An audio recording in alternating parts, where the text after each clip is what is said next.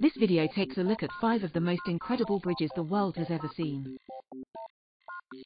The Gateshead Millennium Bridge in England, the world's first tiltable bridge, designed to face forward and tilt back during river traffic. The Helix Bridge in Singapore, the world's first double helix bridge, giving the bridge its unique shape. The Ponte Vecchio in Italy, the oldest bridge in Europe, having been built in the 13th century.